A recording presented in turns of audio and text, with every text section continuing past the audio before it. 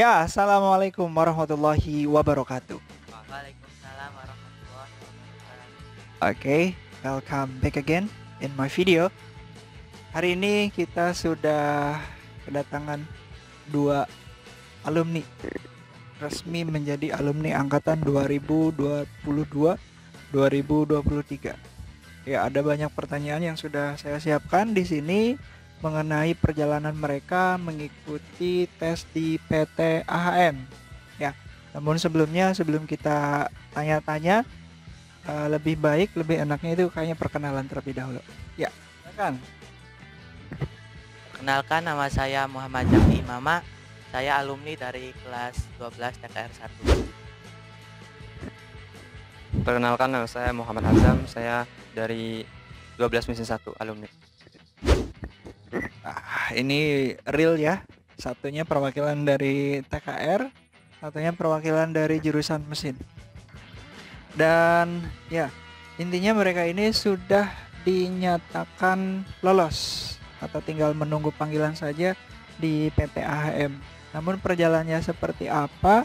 Nah, ini yang akan kita korek lebih dalam agar informasi-informasi penting bisa kalian persiapkan bagi kalian yang nantinya mungkin akan mengikuti tes-tes di perusahaan terutama di AHM.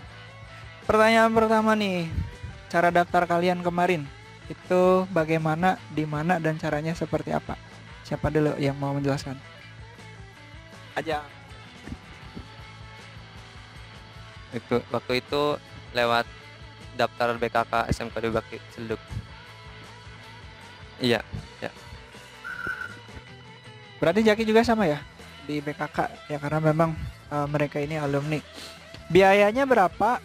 Terus uh, kemarin pelaksanaannya di mana? Kalau boleh tahu. Untuk kemarin biaya 40.000 dan pelaksanaannya itu di Tegal di SMK Muhammadiyah Kramat. SMK Muhammadiyah Kramat.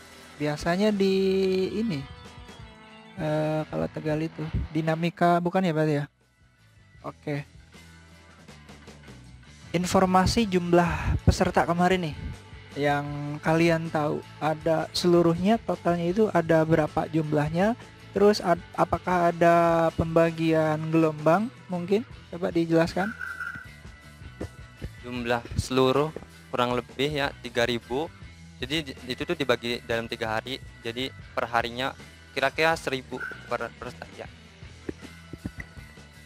tiga ribu dibagi tiga hari ya seribuan berarti. Setahu kalian yang dibutuhkan oleh perusahaan itu ada berapa? Tahu nggak?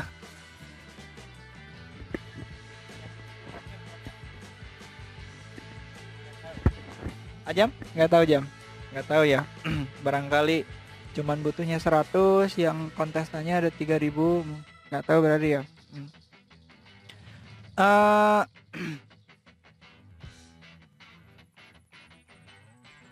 langsung saja ke ingat nggak tanggal tanggal pelaksanaan tesnya itu tanggal berapa? Terus berapa hari tesnya? Apakah sama seperti teman-teman di Toyota tahun kemarin? Berapa berapa istilahnya berapa tahapan tes? Coba dijelaskan. Yang udah dijalanin itu ada lima tahapan tes Enggak. Iya. Eh enggak dong. Iya jauh. Jadi enggak pertama tuh kan ada tes psikotes.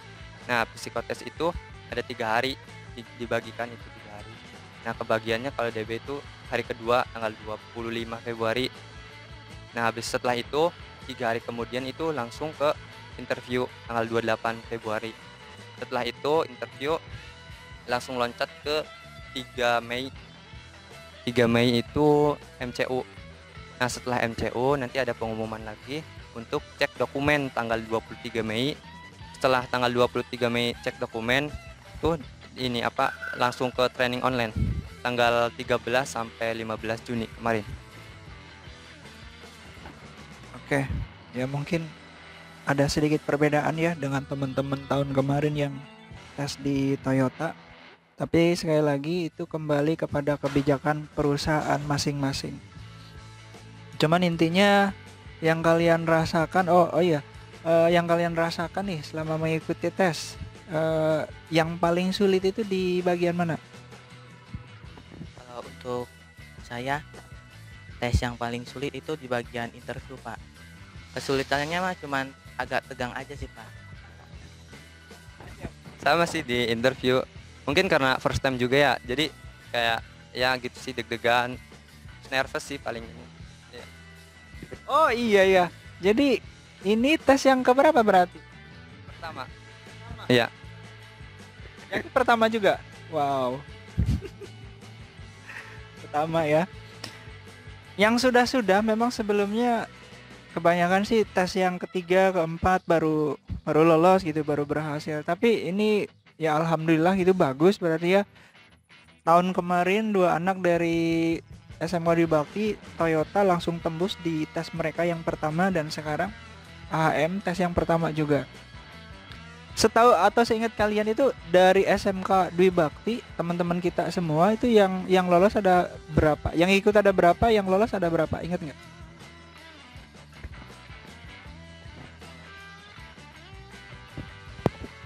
awal ikut yang psikotes itu 40 sampai sekarang yang keterima di training online itu cuma 14 anak. Ya memang masa iya sih keterima semua. Pasti kan dari sekolah lain juga berlomba-lomba dan ya memiliki istilahnya keunggulan-keunggulan. Dan ya memang seperti ini yang namanya tes. Oke berarti kesulitannya yang kalian paling paling kalian rasakan di bagian interview? Memang yang yang bikin tegang itu apa? Si interviewnya itu kelihatan sara, eh, sangar atau pertanyaannya yang sulit? Atau apa intinya apa yang membuat kalian jadi nervous gitu? Kalau dari pertanyaan sih nggak ada simpel-simpel aja. Cuma ya gitu cuma dari rasanya aja sih. Karena kan pertama kali jadi kayak masih deg-degan aja sih. Ya kalau pertanyaan sih nggak ada yang susah. Saya ingat kalian lagi deh. Ya kita bongkar di sini pertanyaan-pertanyaan yang eh, ditanyakan ke kalian sama orang yang menginterview kalian. Yang kalian ingat itu apa aja? Apa nih? Jaki Yang saya ingat itu tentang pas interview pertanyaannya itu tentang PKL, PKL di mana, terus apa yang kamu lakukan saat PKL itu, apa yang kamu apa?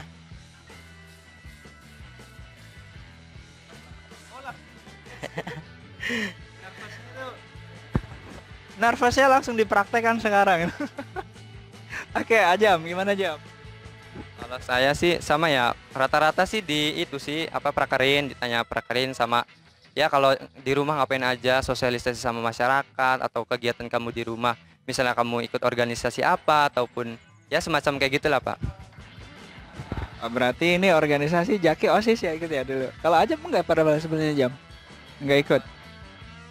kan ditanya juga organisasi di masyarakat sama di sekolah gitu sih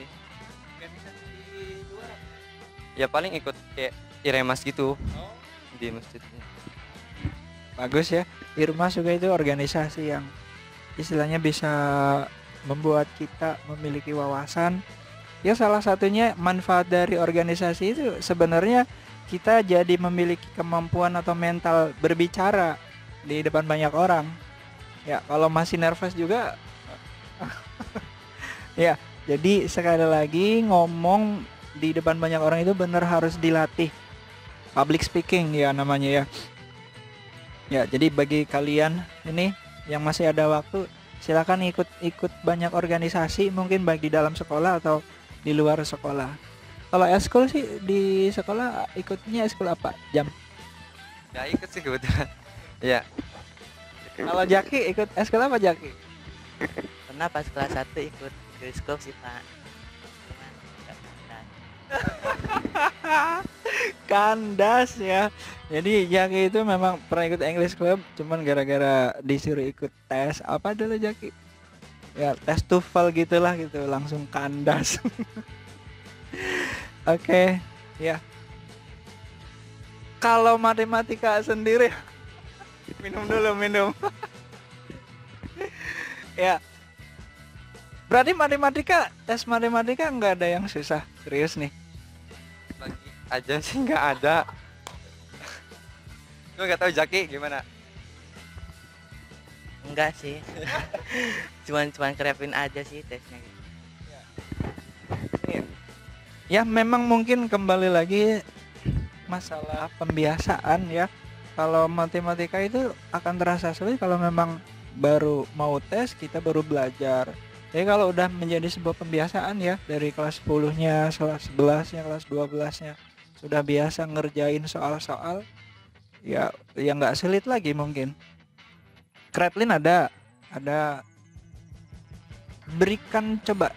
Yang kalian ingat lagi nih contoh matematikanya itu yang kayak gimana sih gambarannya? Biar, biar teman-teman di sana mempersiapkan. Terus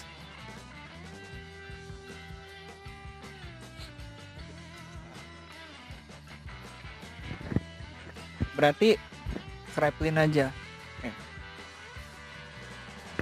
ya tadi dengar-dengar ada training online ya Oke, setelah lulus berarti coba kita ulang lagi tahapan itu ada tahap 1, tahap 2, tahap 3. 4, 5. Oh, ada 5 tahap. Setelah tahap 5 semua dilewati baru di tahap selanjutnya itu training online.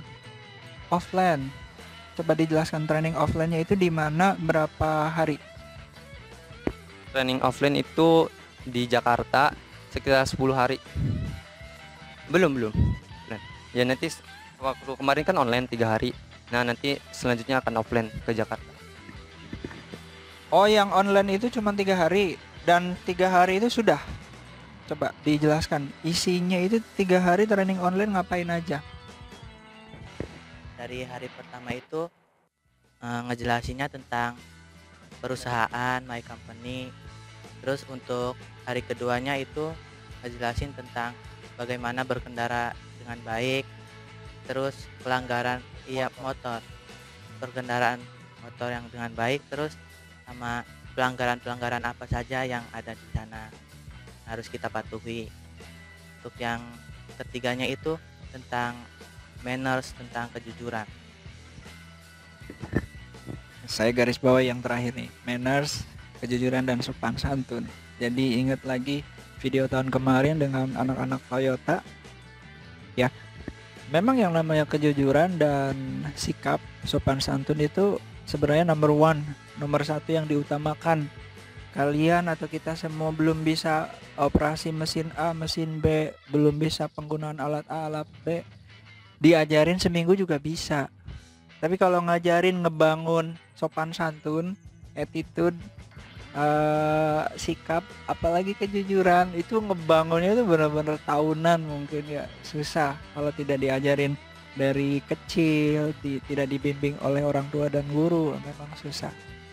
Ya ini pelajaran buat kita semua susah dan ya gampang-gampang susah, nggak susah juga sebenarnya kalau kita mau benar-benar niat bisa kita istilahnya kita bangun ya. Jadi jangan pesimis. Oke eh selanjutnya nih. Sedikit MCU nih karena di video Toyota kemarin ini lagi rame menanyakan tentang masalah MCU sama nggak jenis MCU-nya seperti apa? Terus setelah MCU berapa lama nunggu hasil MCU-nya ini yang banyak ditanyain berapa lama? Kalau tahapan MCU itu pertama yang dicek itu tensi darah, habis itu pengambilan darah, cek darah. Setelah itu tinggi badan, berat badan, and then paru-paru, tes paru-paru, tes urin, tes mata buta buta warna, tes mata buta warna, terus ada tes ambien sama ya sama tes apa lagi? Oh, mulut gigi. Ya, udah, itu aja. Ya, kalau sekali lagi kalau MCU rata-rata sama ya. Di Toyota, kemudian dulu saya di Musashi sama sekarang di AHM juga intinya sama. Tapi di tahap tes MCU ini masih ada yang gugur nggak? Seingat kalian? Masih ada. Heeh. Oke. Memang nggak ngejamin ya, nggak ngejamin setelah kita masuk tes MCU kita bisa lolos itu enggak. Yuk, berapa lama tuh setelah MCU selesai eh, sampai kalian dinyatakan lolos MCU itu seingat kalian berapa lama? Untuk menunggu MCU itu sekitar dua bulanan pak.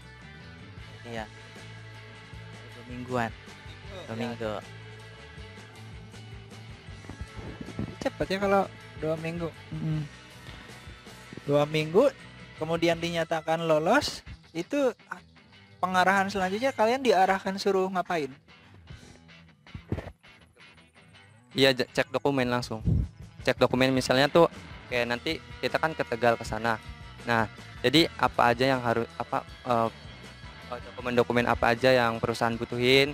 Terus nanti juga eh, misalnya nama nama tanggal lahir sama nik itu harus sama. Terus nanti barang-barang apa aja yang harus dibawa ketika offline nanti. Sekali lagi sama ya sama dengan video tahun kemarin yang di Toyota nggak beda jauh. Udah ada eh, tanggal resmi untuk offline-nya kapan? Belum ada. Hmm, Berarti setelah ini kan tadi malam itu selesai offline yang ketiga ya. Eh, informasi selanjutnya belum ada. Ad- Coba dijelaskan kuisnya seperti apa, remedialnya seperti apa.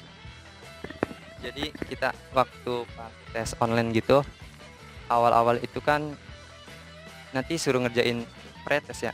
Iya pretest, habis pretest tuh penjelasan materi, habis penjelasan materi nanti nge-quiz lagi post test. Iya, ngerjain post test. Kalau tes lari-lari, push up, sit up itu ada nggak? Oh nggak ada. Aman ya berarti Jaki ya. Padahal seru kayaknya kalau lihat Jaki lari-lari, push up, sit up.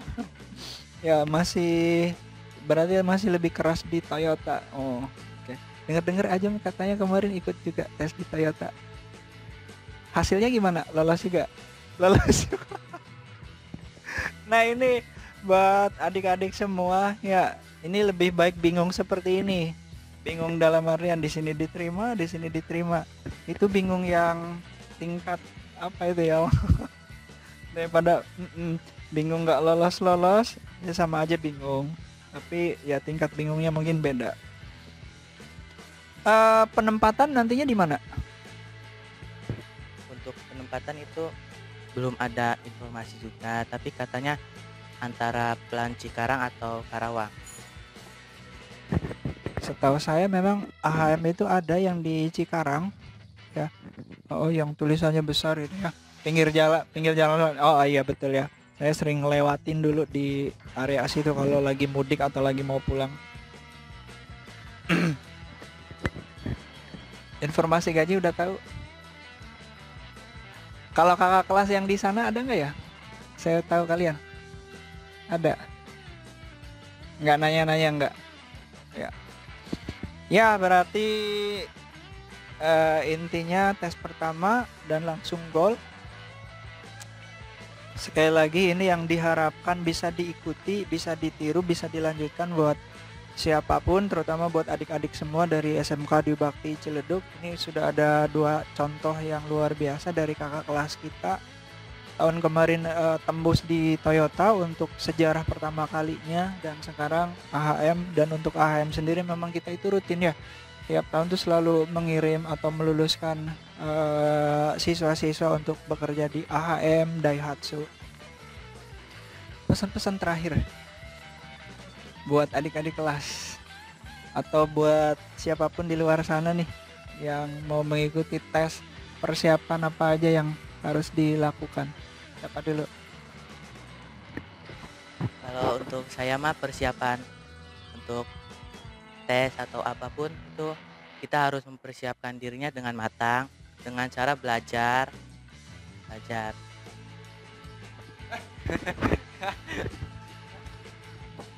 Ya kalau buat saya sih buat kelas 11 12 ya, 10 lah. Fokus belajar dulu sih, manfaatin waktu kalian di sekolah, man- manfaatin untuk belajar karena kalau nanti kalau udah lulus tuh beda banget sih rasanya. Mending pusing mikirin PR daripada pusing mikirin pekerjaan sih. dan sekali lagi kami Bapak ucapkan selamat saya ucapkan selamat. Ada sekitar 14 wow 14 banyak ya. Satu angkatan satu gelombang dan tetap nanti akan ada uh, tes selanjutnya juga ya. Tanggal berapa? Tahu nggak dari informasi BKK belum tahu ya. Ya mungkin uh, ada lagi terakhir yang mau disampaikan? Barangkali selain pesan-pesan atau yang paling berkesan dari selama tes yang kemarin dilalui apa tuh?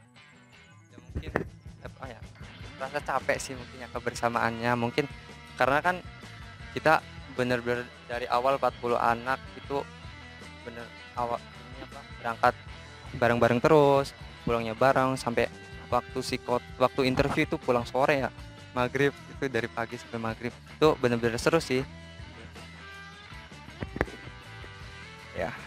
istilahnya kalau kalau saya sering bilang ke anak-anak yang baru lulus itu welcome to the jungle. Selamat datang di kehidupan yang sesungguhnya. Di mana ya pokoknya banyak yahnya lah. Ya titik aman sekali lagi saya sering bilang di kelas-kelas titik aman kalian ketika lulus itu apa? Ketika kalian bisa diterima di ker, uh, di perusahaan di tempat kerja atau di tempat kerja mana saja. Jangan sampai istilahnya nganggur karena sebulan dua bulan tiga bulan lewat setahun itu dari segi semangatnya udah beda. Bener ya? Ya jadi ya lebih baik dimaksimalkan lebih baik capek satu tahun pertama. Yang penting kalian bisa lolos bisa masuk ke titik aman yaitu diterima di perusahaan. Ya mungkin itu saja sementara dulu interview kita dengan uh, eh, alumni alumni baru dua mingguan ya jadi alumni tapi alhamdulillah sudah bisa tembus bagi kalian yang memiliki pertanyaan silakan di ajukan saja atau dituliskan saja di kolom komentar. Terima kasih untuk waktunya, terima kasih buat kalian yang sedang mencari pekerjaan. Kita doakan semua agar diberikan kelancaran, kemudahan dan bisa diterima di perusahaan yang kalian inginkan. Wassalamualaikum warahmatullahi wabarakatuh. Oke, selamat nih.